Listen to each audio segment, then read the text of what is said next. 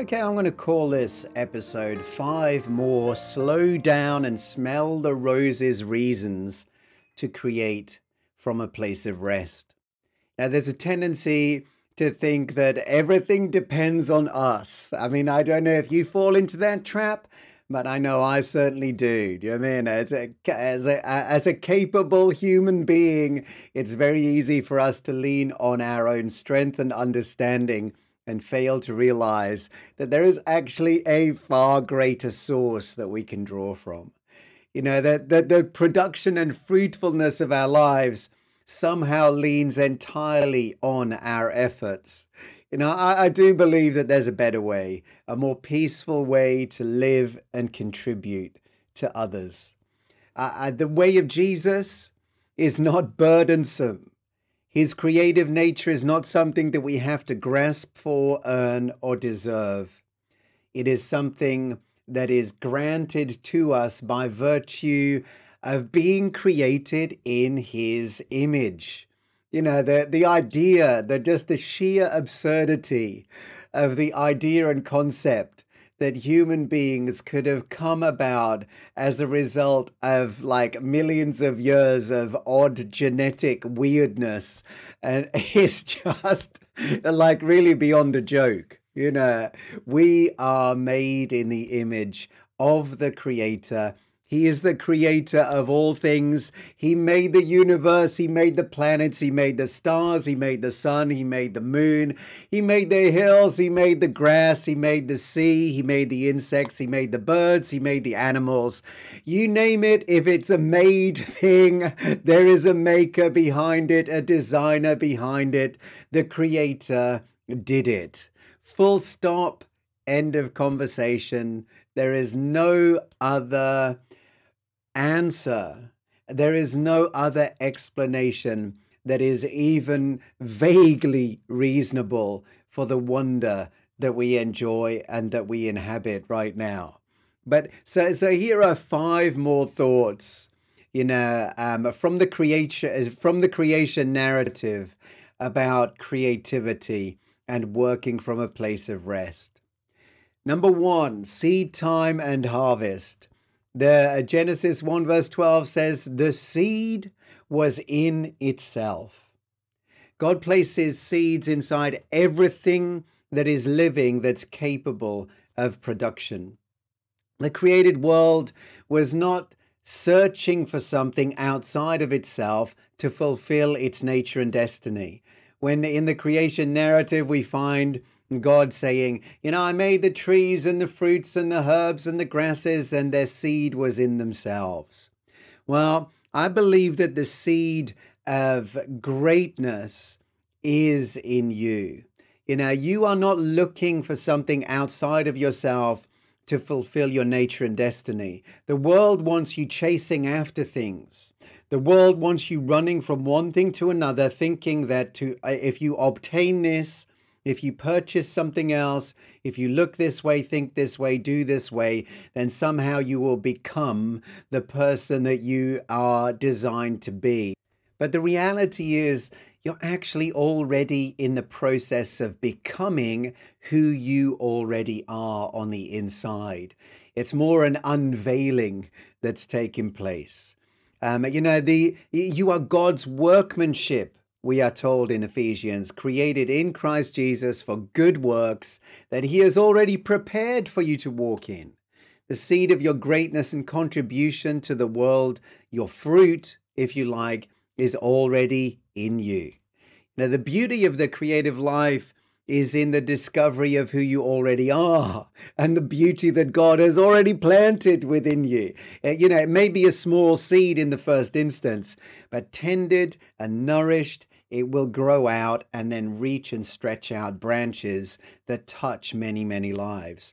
I, I wholeheartedly believe that there is a unique um, a unique contribution that each one of us has to bring, a creative uh, creative aspect that needs to be brought to the table that we alone can bring to the party. You know, in a push button world, the idea of patiently tending a seed until it's grown and flourishing is kind of unpopular. But the way of faith is really not about the speed with which we can genetically modify our own growth. It just is not going to happen. You know, the, the, the pictures in scripture are, are agricultural, not mechanical or digital. I love this verse from Luke 8, verse 15.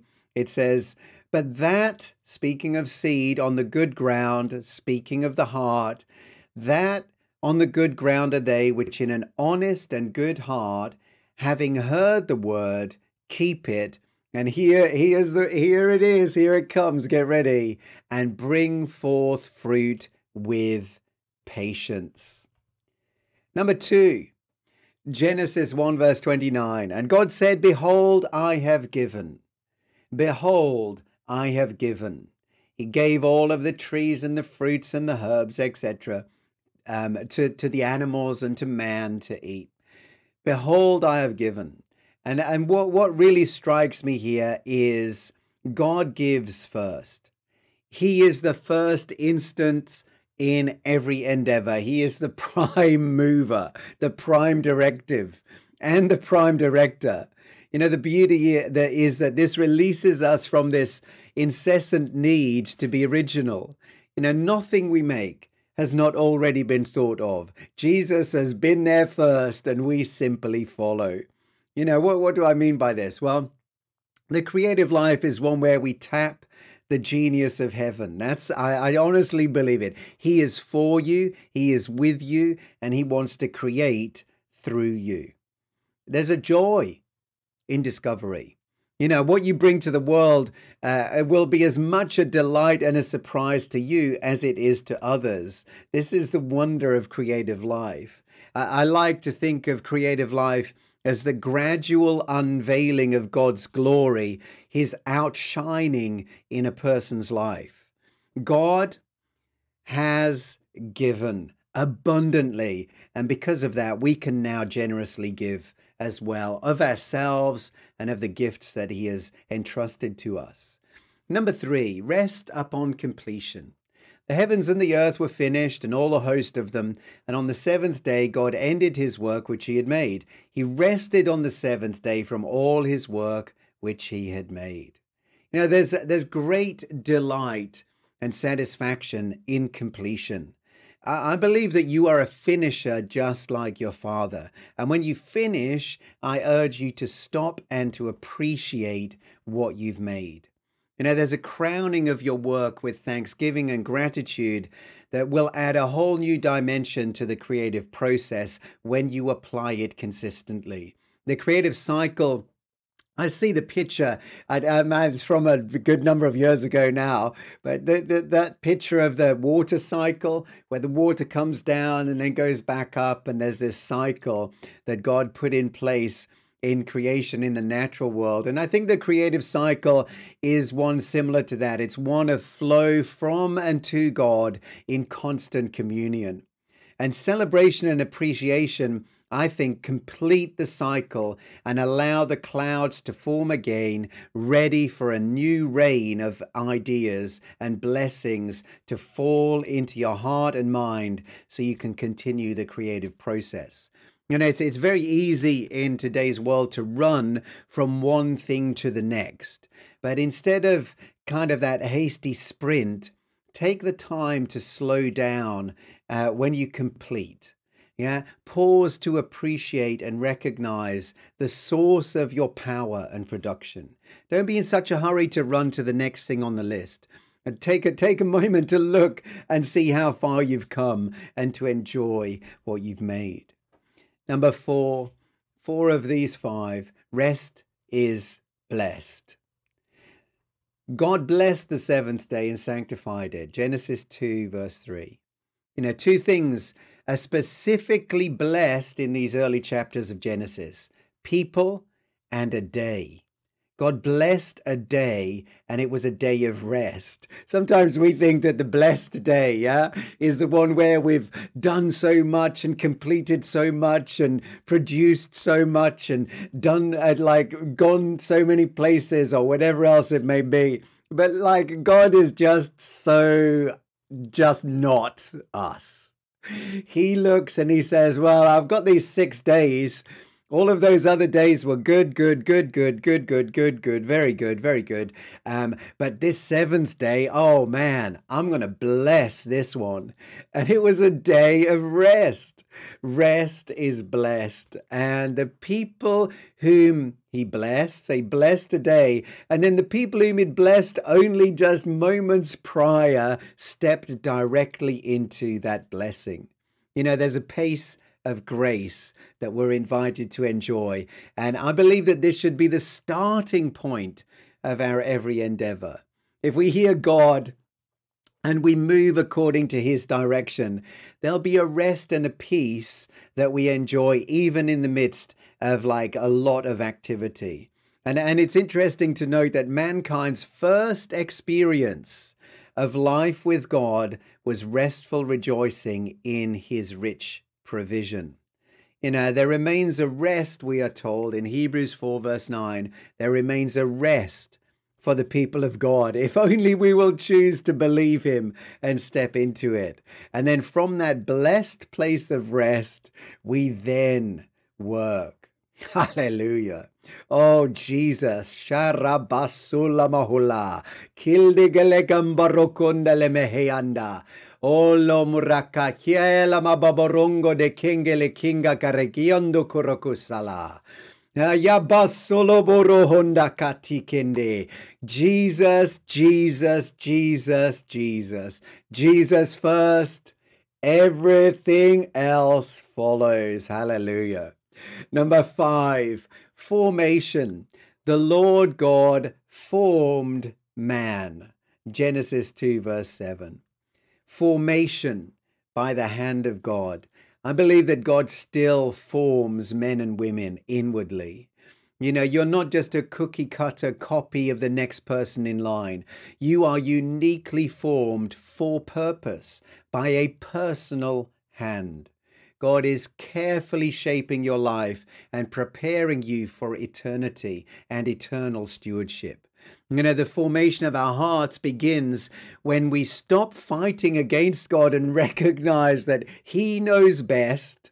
Yeah, what will make us into the people we need to be to walk fully in His grace.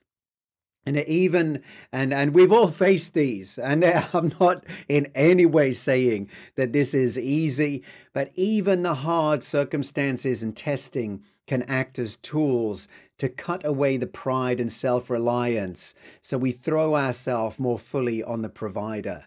And I mean, to to a very small degree, I have experienced that over these past months.